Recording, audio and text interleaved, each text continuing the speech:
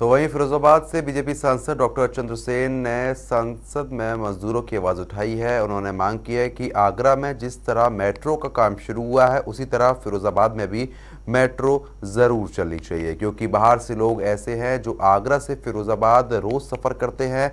इससे उनका सफ़र आसान होगा। साथ ही चंद्रसेन लंबे वक्त से फिरोजाबाद के नाम को बदलने की मांग कर रहे हैं, जो अब जल्द ही पूरा होने वाला है। इन्हीं सभी मुद्दों पर हमारे संवाददाता केशव ने फिरोजाबाद सांसद डॉक्टर चंद्रसेन से खास बातचीत की है। सुनवाते हैं। फिरोजाबाद में बहुत सारी चीज़ों में बदलाव दिखा है अभी हाल ही में फिरोजाबाद के सांसद ने एक आवाज़ उठाई है और कहा है कि यातायात में फिरोजाबाद से जाने वाले लोग आगरा जो जाते हैं, उन्हें परेशानी होती है। तो उसके लिए एक मेट्रो का निर्माण किया जाए। लगातार हमने देखा है कि आगरा में मेट्रो का निर्माण कार्य चल रहा है, पर अब फिरोजाबाद के लोगों को उस तरह की सहूलियत मुहैया कराना सरकार का काम है, जिसकी आवाज़ चंद्रसेन जी ने पार्लियामेंट में उठाई है। आज हमारे साथ बात करने के लिए चंद्रसेन जी खुद मौजूद हैं।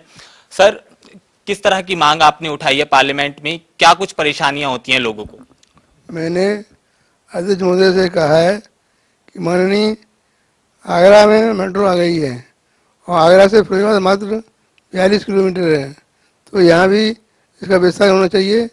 जिससे व्यापारी वर्ग, छात्र वर्ग, किसान वर्ग, सभी जो है इसका लाभ ले सकें और आराम से अपना धंधा चलाएँ।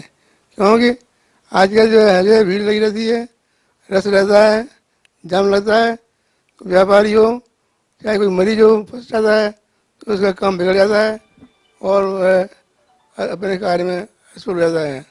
जैसे व्यापारियों की भराई भराई के लिए, छात्रों की सुगमता के लिए और अन्य वर्ग के लिए जातियों के लिए जो है उन सबके लिए मेट्रो बहुत ही लाभदायक रहेगी।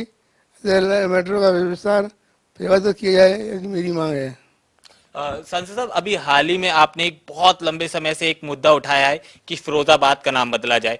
जब से यूपी सरकार योगी की यूपी में सत्ता से आई है तो नाम बदलने पर आ, कई सारा बड़ा ज़ोर दिया गया। इस तर्ज पर आपने भी मांग की है। क्या कुछ मांग है वो जो लंबे समय से एक आप उठा रहे हैं और कब तक पूरी हो पाएगी आपको लगता है? पिछले काल में इस ये चंद्रनगर के राजा चंद्रसेन हुआ करते थे।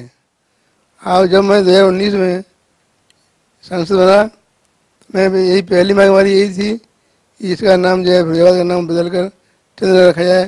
क्योंकि इसका नाम पहले चंद्रनगर ही था, जो मेरे पूर्वज मान लो चंद्रसेन जो शासक थे उस टाइम इसका नाम चंद्रनगर ही था अजय चंद्रनगर ही रखा जाए चंदा ये पुरानी है कहीं इसमें भी आ, आप बाकी की तरह हिंदू मुस्लिम फैक्टर तो नहीं है कि आपको फिरोजाबाद के नाम से तकलीफ़ है या फिर इसके पीछे का कुछ तथ्य है आपके पास जो आपने पार्लियामेंट में रखे?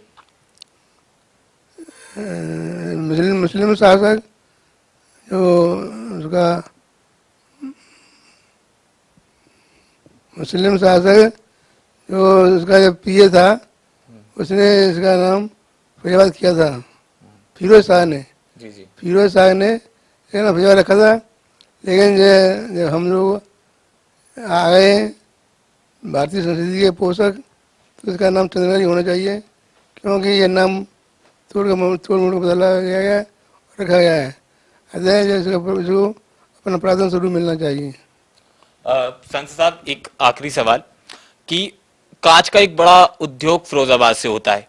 उसके बाद कांच का एक बड़ा खेप जाता है, मगर अभी तक वो अंतरराष्ट्रीय लेवल पर फिरोजाबाद को नहीं जोड़ पाए, क्योंकि व्यापारी आते हुए कतराता है। उसके ना तो ठहरने की व्यवस्था है, ना उसके रुकने की व्यवस्था है। जो वहाँ के जो व्यापारी हैं, वो आगरा तक ही सीमित होकर रह गए हैं। उसके लिए क्या कुछ ठोस कदम उठाए हैं आपने? इसके लिए मैं शीघ्र लोकसभा में प्रश्न उठाने वाला हूँ कि पासपोर्ट ऑफ़िस खोला जाए। पासपोर्ट ऑफ़िस बरेली में है, हमारे व्यापारी वहाँ जाते हैं और यह कोई जानकारी हासिल करना चाहते हैं बरेली जाना पड़ता है। इस धन का और समय का बर्बादी होती है। तो मेरी मांग यह है कि यहाँ पासपोर्ट ऑफ़िस खुले जिससे व्यापारी वर्ग अपना काम धंधा आराम से चला सकें और अपने माल को एक्सपोर्ट कर सकें, जिससे उन्हें लाभ हो। बहुत बहुत शुक्रिया सांसद साहब आपका इस सारे मुद्दों पर हमसे जानकारी साझा करने के लिए। तो चंद, फिरोजाबाद की बहुत सारी समस्याएँ सांसद साहब के साथ हमने डिस्कस करी हैं और बहुत सी आवाज़ हमने देखा है पार्लियामेंट में जो लगातार उठती रही हैं और आने वाले वक्त में भी हम इन सारी चीज़ों को सांसद साहब द्वारा उठाते हुए देखते रहेंगे। कैमरा पर्सन मोनू के साथ केशव पांचाल, जनता टीवी, दिल्ली।